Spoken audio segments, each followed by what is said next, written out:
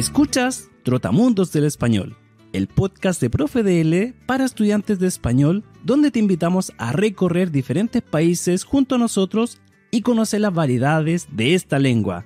¡Comencemos! Hola a todos, ¿qué tal? Bienvenidos a un nuevo episodio de Trotamundos del Español de Profe DL. Me llamo Marco y soy el presentador de este programa. En este episodio te quiero invitar a conocer Mendoza, un lugar famoso por la producción de vinos en Argentina. Vamos a visitar una bodega para que así puedas conocer acerca del proceso de elaboración de vino y además conocer esta hermosa región.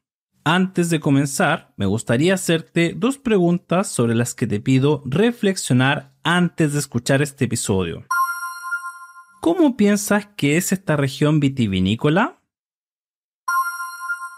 A Mendoza le dicen la capital del Malbec. ¿Qué sabes sobre esta cepa de vino? ¿Están listos? Acompáñenme entonces en este nuevo viaje de Trotamundo del Español. ¡Vamos! Hoy me encuentro en Mendoza, una provincia ubicada al pie de la Concagua, la montaña más alta del continente americano en el centro oeste de Argentina. Mendoza es una región agrícola e industrial, famosa por el excelente vino que se produce en esta región. De hecho, se considera una de las 10 capitales mundiales de esta bebida alcohólica. Su tierra fértil, el agua de riego proveniente de la cordillera de los Andes y el clima templado y seco de esta zona son la mezcla perfecta para producir vinos de gran calidad. En toda la región hay más de mil bodegas de vino, de las cuales alrededor de 100 están habilitadas para actividades turísticas donde comúnmente se hacen recorridos por los viñedos y degustaciones de vino. Y para conocer más acerca de todo esto, me encuentro en una de las bodegas de vino más antiguas de la región, en la localidad de Maipú, donde me reúno con Marina Arnold, encargada de turismo y eventos en Bodega y Viñedos Argentia. ¿Qué tal Marina? Mucho gusto. Háblanos de ti y de tu relación con el mundo del vino. Mi nombre es Marina Arnold, yo tengo 35 años, soy de Mendoza Capital, del Gran Mendoza. Hace más o menos 20 años que estoy ligada a la vitivinicultura, desde los 17 años que me, metí en este mundo del vino, en nuestra bodega. Estudié turismo y estudié un poco de, de sommelier para aprender de este mundo. Bueno, y eso, eso soy. Perfecto, dijiste el mundo de la viti... vitivinicultura. La vitivinicultura. ¿Qué es la vitivinicultura? Todo, todo lo relacionado. La vitivinicultura exactamente es todo relacionado con el mundo del vino. Y cuéntanos, Marina, ¿cuál es la importancia de Mendoza en la producción de vinos de Argentina? Mira, primero es importante saber que Mendoza representa el 60% de la producción total de vino de la Argentina, que es un montón. Entre el 60 y el 65% Mendoza representa la producción de, vino de Argentina. ¿Y por qué destaca mucho esto? Primero por la gran diversidad de suelos y de clima y altitud que tenemos en Mendoza. Se producen vinos jóvenes y frutales y también se producen vinos de, guarda, con gran producción de guarda. Eso es porque tenemos diferentes tipos de suelos, amplitud térmica, eh, inviernos más húmedos, veranos más secos, hacen que el, que el terroir es el conjunto de sol, suelo y agua, que el terroir que hay en Mendoza, que incluso nosotros tenemos dentro de la misma provincia diferentes zonas, sea mm, perfecto para que eh, el viñedo pueda desarrollarse mm, de manera óptima. Muy interesante, por eso el vino de Mendoza de Argentina es reconocido a nivel mundial. Y sobre eso, ¿cuáles son los principales mercados del vino argentino?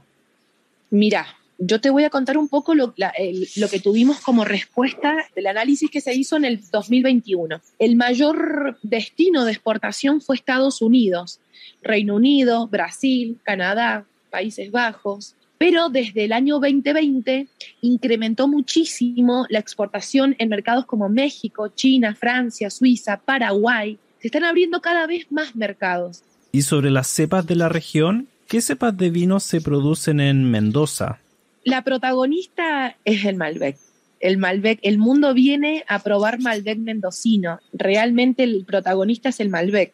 Bonarda, Cabernet, Tempranillo. En varietales blancos tenemos Chardonnay, Sauvignon Blanc, pero el Malbec es, la, es el protagonista absoluto. La gente viene a probar el Malbec de Mendoza. Y para la gente que no conoce el Malbec, ¿cuáles son sus características? Bueno, mira, el Malbec me gusta decir que es un vino muy cálido, es un vino suave, con taninos muy agradables, con taninos muy dulces. El Malbec tiene características inconfundibles en cuanto al color, tiene matices violáceas o azulados, tiene rubí, tiene rojo, tiene tonos rubí intensos con matices violáceas o azulados, tiene un color muy característico eh, y tiene taninos muy suaves, taninos muy amigables.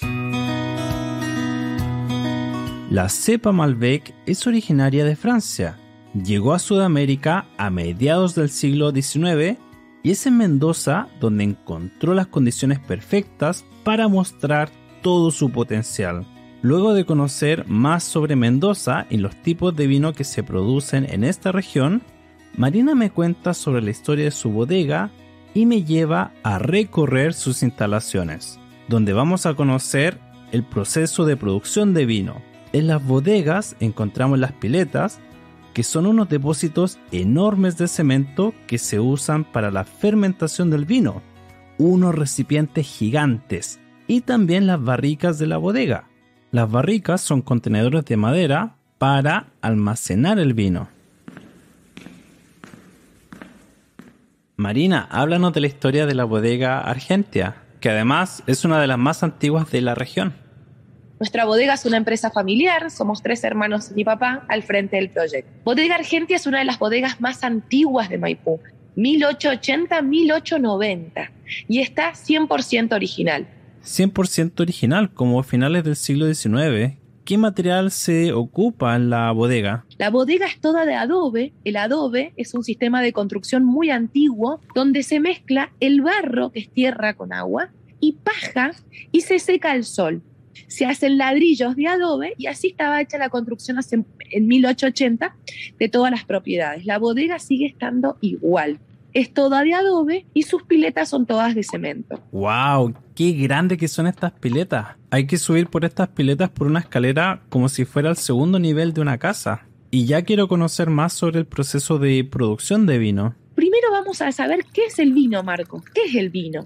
El vino es la transformación del azúcar propia de la fruta, de la uva, en alcohol. Las uvas blancas las vamos a cosechar en el mes de febrero y las uvas tintas en el mes de marzo. Una vez que cosechamos, y va a ingresar la uva a la bodega en un camión, y primero se descarga en una cinta de selección.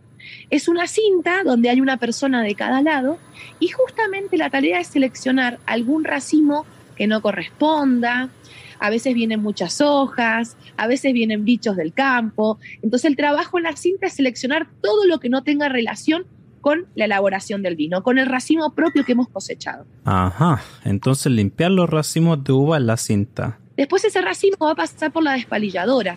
La despalilladora separa el grano del escobajo. El escobajo es el esqueleto que tiene el racimo, es el esqueleto que sostiene los granos. A través de una bomba, el grano va a ingresar directamente a la pileta. Adentro de la pileta ingresa todo, piel, semilla y el jugo propio de la fruta. Y en ese momento se hace la siembra. A la siembra se le colocan levaduras. ¿Y cuál es la función de la levadura? El trabajo de la levadura es generar la primera fermentación alcohólica. A mí me gusta decir que en ese momento, cuando ingresan las levaduras, es cuando comienza la magia. Realmente el vino es magia. La levadura, como te digo, genera la primera fermentación alcohólica, transforma ese azúcar propio de la fruta en alcohol. La, la fermentación alcohólica dura más o menos entre 10 a 15 días. Ustedes deben saber, siempre el color del vino lo vamos a obtener de la piel de la uva. Uvas blancas, vinos blancos, uvas tintas, vinos tintos, rosados o blancos. Por una cuestión física y también química, la parte sólida, que es piel y semilla, queda en la parte de arriba de la pileta. Y todo ese jugo en fermentación queda en la parte de abajo. Bien, entonces la parte sólida arriba y el jugo abajo en esta pileta, en el estanque grande que son las piletas. La pileta tiene una puerta y al costado de cada puerta hay una pequeña boca. Lo que hacemos es abrir una de esas boquitas para que todo ese jugo que está fermentando caiga a una bandeja. a una, a una gran zaranda, bandeja o a un gran recipiente y con una bomba subimos ese jugo a la misma pileta pero por la parte de arriba. Las piletas tienen dos, dos ingresos, la puerta del frente y la puerta de arriba. Entonces ese jugo lo, lo, sacamos por la puerta del frente, por una boquita, y lo subimos por la parte de arriba. ¿Para qué?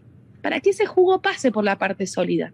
Y de esa forma yo voy a extraer color y taninos que hay en la piel de la uva. Vale, entonces traen el jugo desde la pileta, que es este contenedor enorme, y lo vuelven a añadir por la parte superior, donde está la parte sólida de la uva en la pileta, ¿no? ¿Cómo se llama este proceso? Ese movimiento se denomina remontaje hacemos que el jugo pase por la parte sólida. Una vez que termina la primera fermentación alcohólica, ya tengo alcohol, entonces ya tengo vino. Ese vino lo llevo a una pileta. Y toda la parte sólida, que es piel y semilla, a la prensa. ¿Por qué a la prensa? Justamente porque está muy mojado de vino por este movimiento que yo les cuento que hemos hecho. Entonces la piel y la semilla quedan muy mojados de vino. Lo que hacemos es llevarlo a una prensa hidráulica que lo, justamente lo que hace es apretar toda esa piel para extraer jugo, vino en este caso, porque ya terminó la primera fermentación. Pero nosotros en nuestra bodega elaboramos todos vinos tintos de alta gama. ¿Por qué? Primero, no rompemos semilla en prensa. Si nosotros empezamos a, a, prensar toda la parte sólida, tenemos semillas y las semillas empiezan a romper. ¿Y por qué es importante la semilla? La semilla te aporta un sabor amargo, herbáceo, nosotros no rompemos semilla en prensa. Perdemos litros, pero nos aseguramos mucho la calidad del producto. ¿Y qué hacen después con esa parte sólida que queda? El orujo, que es la piel y la semilla, como no rompimos semilla en prensa, al no romper semilla queda muy mojado de vino. Entonces lo que nosotros hacemos es esparcirlo por todo el piso de la bodega. Todos nuestros visitantes cuando llegan estacionan los autos, en el piso está todo el orujo. ¿Por qué hacemos eso? Para que el sol agote bien el alcohol que tiene ese orujo. Una vez que está bien seco, no hay mejor abono para la tierra que el orujo. Somos bodega sustentable. Nosotros lo que intentamos es devolverle un poquito a la naturaleza a todo lo que nos da para poder hacer un vino. ¿Y qué hacen con el líquido que se obtiene luego de prensar el orujo? ese poquito vino que, que, extrajimos de la poca prensa que hicimos, lo vamos a guardar en la pileta donde habíamos guardado ese primer vino. Y ahí es muy importante que la pileta quede herméticamente cerrada porque comienza una segunda fermentación que se llama maloláctica. La uva trae por ella misma un ácido que se llama málico. ¿sí? Ese, ácido hace que el vino sea más rústico, más crudo, ese ácido málico se transforma en ácido láctico que viene de la leche. Hace que sea más redondo, más untuoso. Durante vendimia, vendimia es el, es el momento en que empieza la cosecha hasta que termina la elaboración del vino, debemos hacerle análisis a todas las piletas que se están elaborando para ir viendo cómo se va comportando ese vino, ese azúcar, esa acidez, ese pH. Y en el análisis me sale si el vino terminó su segunda fermentación. Una vez que ha completado su segunda fermentación, está el vino listo. Vos lo colocas en una botella y lo comercializas como un vino joven. Vale, entonces es el proceso para un vino joven. ¿Cómo es entonces con otros tipos de vino? Después tenemos vinos criados, vinos reserva o gran reserva, que son vinos que han tenido pasos por barricas. Barrica, un recipiente de madera donde se almacena el vino. ¿Y cuánto tiempo debe pasar para que se denomine un vino de reserva? Un vino reserva para que pueda denominarse como tal, como reserva, tiene que haber pasado mínimo 12 meses dentro de una barrica y 12 meses más la botella en la cava. Y un gran reserva, mínimo 24 meses en barrica y 12 meses más en botella en la cava. Y en el mundo del vino, nosotros utilizamos dos tipos de barrica, de roble francés y de roble americano, porque ambos aportan cosas distintas al vino. La americana le aporta una esencia de vainilla, un cacao, un coco, y la francesa le aporta aromas ahumados, tabaco, café, y sabores. Después de conocer la bodega, el proceso de fermentación en las piletas, me preparo para disfrutar de un delicioso almuerzo acompañado de un buen vino en el restaurante de Bodega Argentea. Conocer la belleza de Mendoza su tierra fértil y bellos paisajes me hacen comprender por qué este sector es tan importante para el vino argentino y que ciertamente cualquier amante de esta bebida debe visitar. Me despido desde Bodega Argentia. Muchas gracias Marina. Acá los esperamos.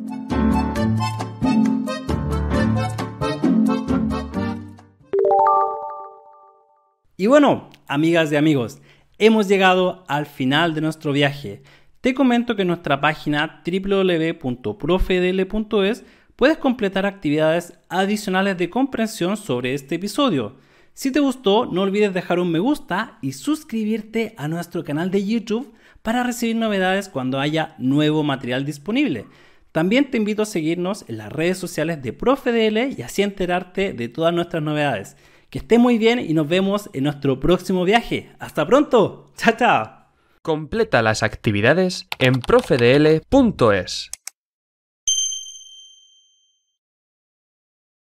Suscríbete, dale a me gusta y activa la campanita.